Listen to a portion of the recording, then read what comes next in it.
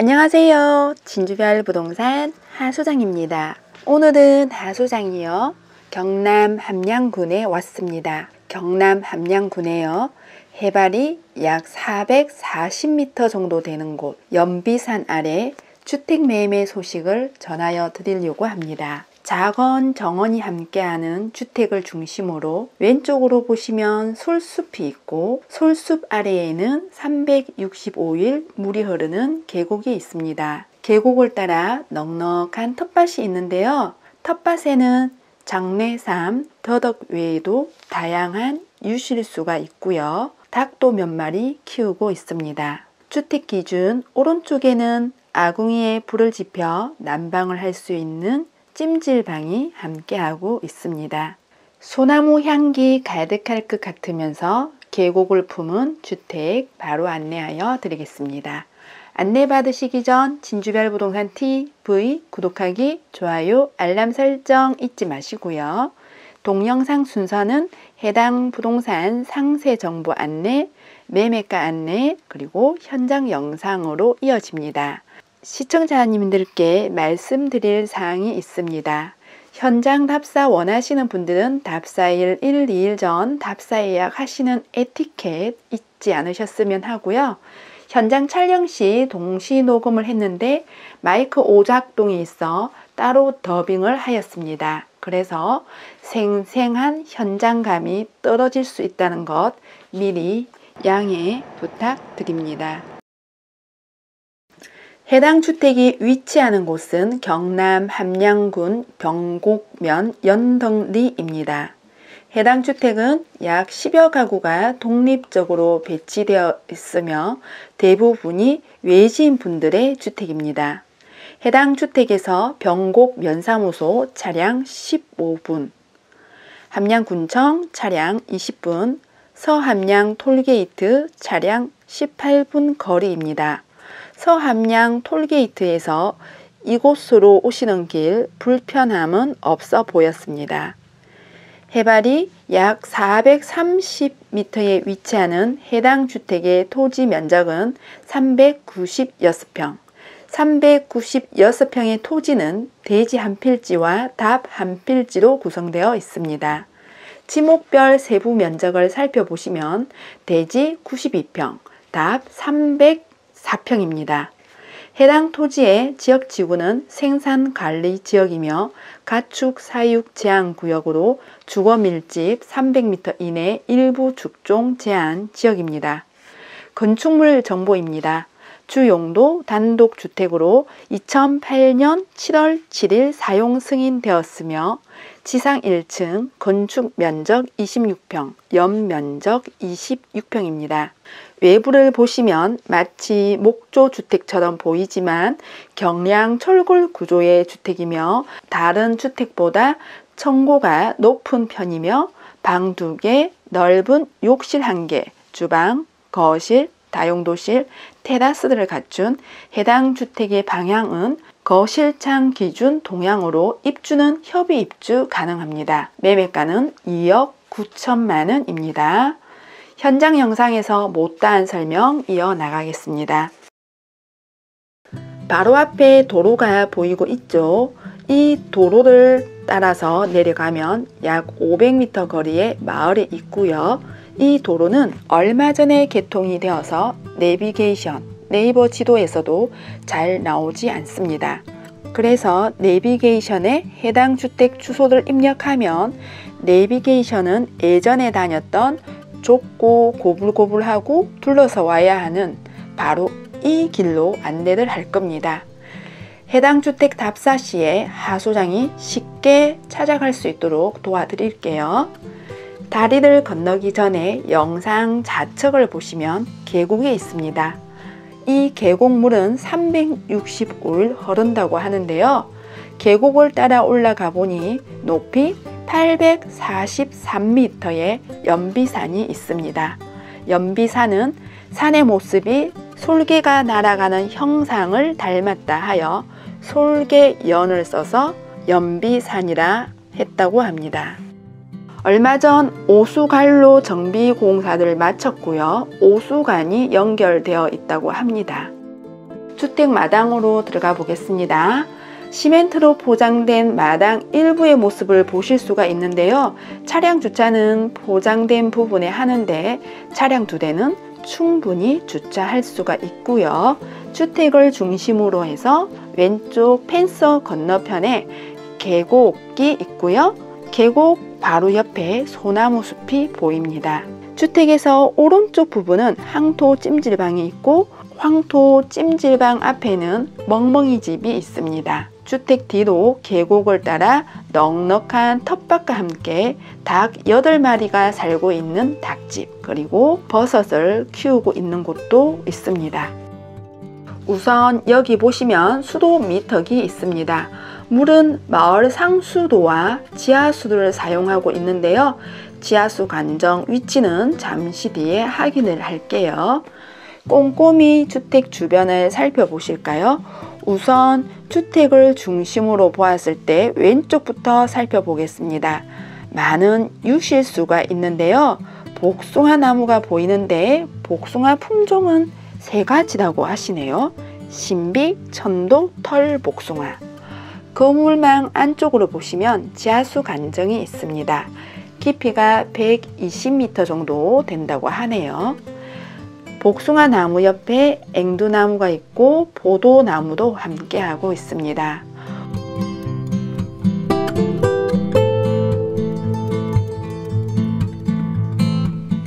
우리 토지와 계곡 사이에 펜스가 설치되어 있습니다. 펜스를 자세히 보시면 계곡으로 갈 수 있는 문이 있는 것 확인할 수가 있는데요. 이 문은 바로 앞에도 있고 또 하나가 더 있습니다.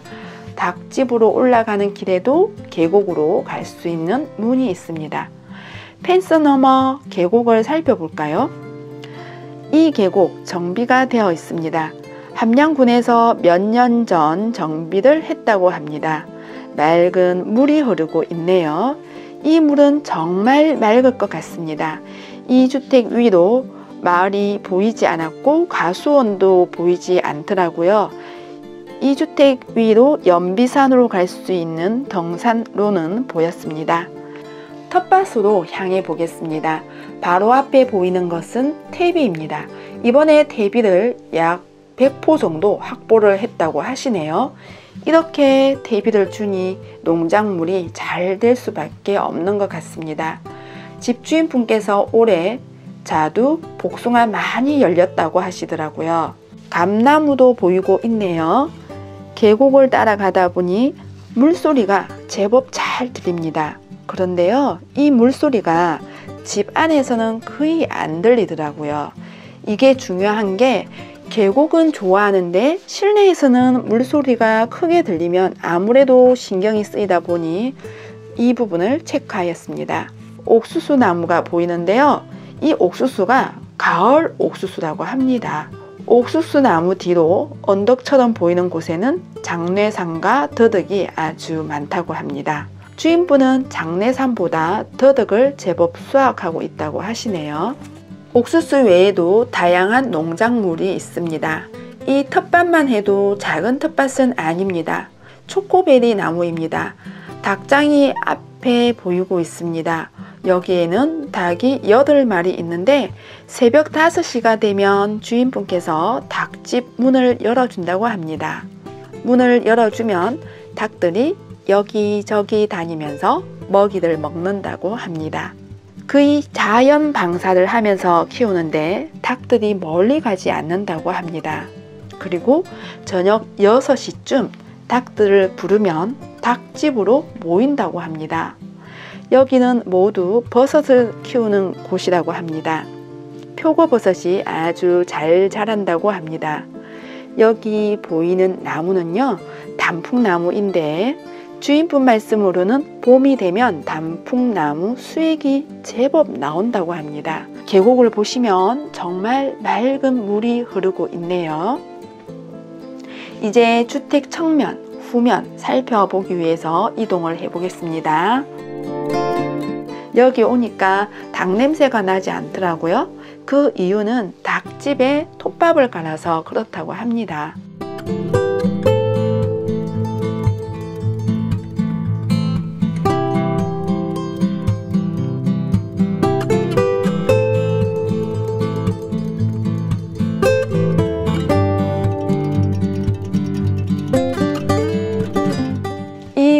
다용도실 문인데요. 직사각형의 다용도실 공간이 제법 넓었습니다. 다용도실 주방이 연결되어 있고 각각의 공간마다 문이 있습니다. 장작은 곳곳에 보입니다. 아궁이가 있다 보니 장작이 있고요. 찜질방에도 장작이 제법 쌓여 있었습니다. 빨간 고추가 햇볕에 잘 말려지고 있습니다. 오랜만에 깨를 말리는 모습도 보네요. 주택 후면으로 가볼까요? 호박의 모습을 볼 수가 있는데요. 호박이 제법 잘 열렸습니다.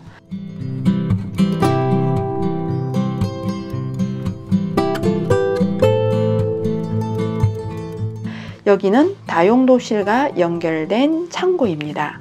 제법 많은 물건이 있습니다. 주택 후면도 보시면요. 토지 경계쯤에 펜스가 설치되어 있는데 주택과 토지 경계 사이 이격 거리가 넉넉합니다. 가스통이 여러 통 보이는데요. 치사는 가스를 이용합니다. LPG입니다.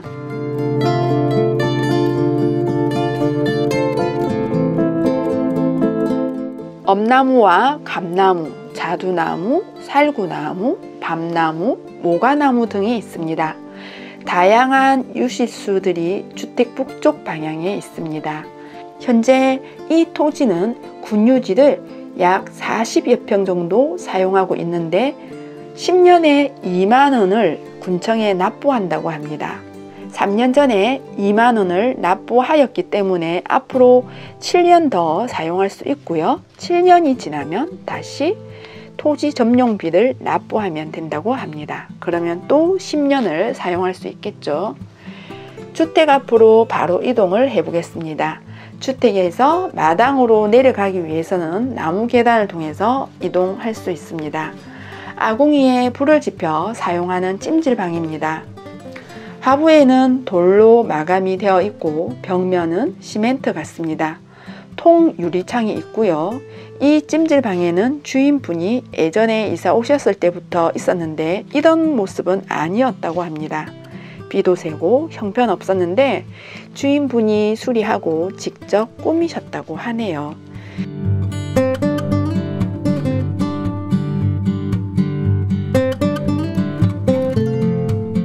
문은 이중으로 되어 있습니다. 방문을 열고 들어가면 온화한 감이 도는 내부의 모습을 볼 수 있습니다. 바닥은 황토라고 합니다. 천장에 전등, 한쪽 벽에는 설경이라고 하나요? 그런 것도 볼 수 있고 작은 창도 있습니다. 마당을 바라볼 수 있는 통유리창, 이 유리창으로 들어오는 마당, 그리고 마당에서 이어지는 솔숲이 그림이 되어주고 있습니다. 밖으로 나가서 아궁이는 어떤 모습인지 볼까요?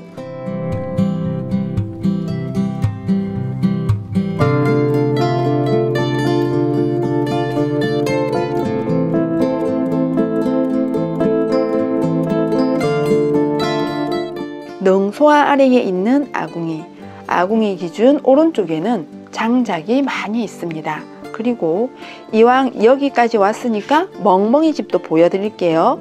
멍멍이가 두 마리 있는데 아이들이 얌전하더라고요. 보통 모르는 사람이 오면 짖는데 얘네들은 교육을 받았는지 짖지 않았습니다.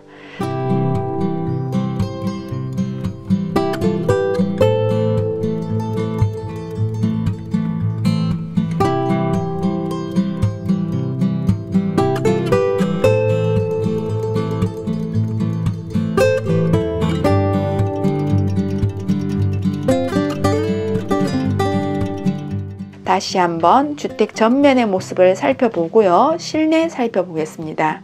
주택 앞으로 정원수 가득한 정원이 있고 주택 외관에는 테라스가 있습니다.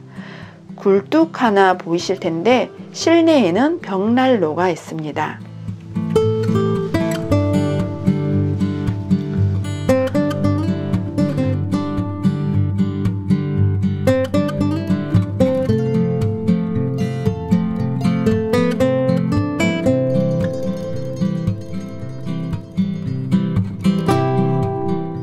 나무 계단을 통해서 주택으로 가보겠습니다. 실내 영상에서는 공간과 설명이 맞지 않을 수 있습니다. 주택 실내에는 천장, 벽 모두 나무로 마감이 되어 있어 벽면에 벽지들 따로 사용하지 않아도 됩니다. 다른 주택보다 청고가 높은 편입니다. 주택 실내에는 주방, 주방 뒤로 직사각형의 다용도실과 침야 전기 보일러실이 있고요. 방 2개, 욕실 1개, 주방, 거실로 구성되어 있습니다. 거실에는 벽난로가 있는데 650만 원을 들여 설치한 벽난로라고 합니다. 이 벽난로에 불을 지필 때는 참나무를 사용하는 게 가장 좋다고 합니다. 방은 제법 사이즈가 큰 편인데요. 안방으로 사용하는 방에는 붙박이장이 있고 사이드로 창이 있습니다. 외부로 나갈 수 있는 문이 안방에는 따로 있습니다. 방마다 설치된 창도 제법 사이즈가 있어 외부 풍경이 잘 들어오고 있습니다.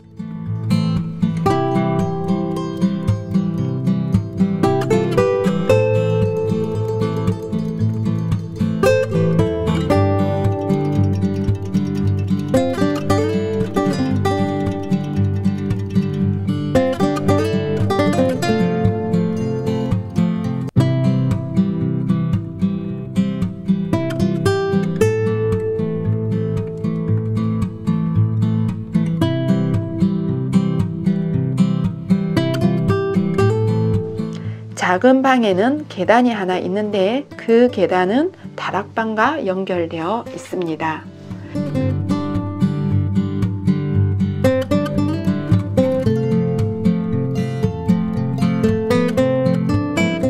주방에 있는 싱크대는 3년 전에 교체를 한 싱크대라고 합니다. 주택으로 이사 오시는 분이 다시 싱크대를 설치하지 않아도 될 만큼 상태는 양호했고 견고하였습니다.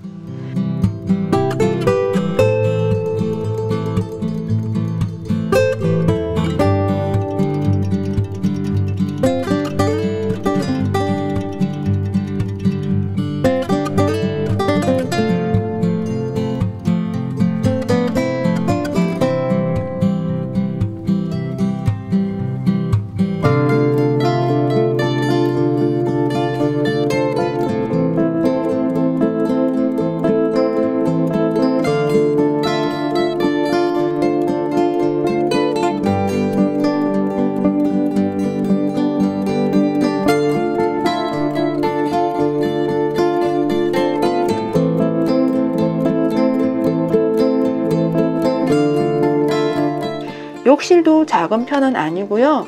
욕실에 세탁기가 놓여 있습니다.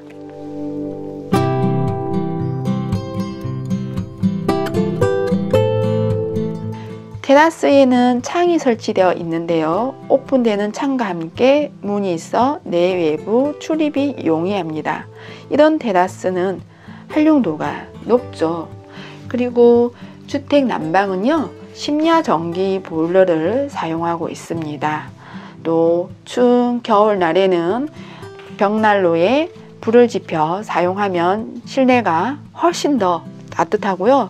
또 난방비도 그렇게 많이 나오는 편은 아니라고 합니다. 여기까지 경남 함양군 병곡면에 위치하는 오늘의 주택을 보셨습니다. 부족한 설명에도 영상을 시청하여 주셔서 감사합니다.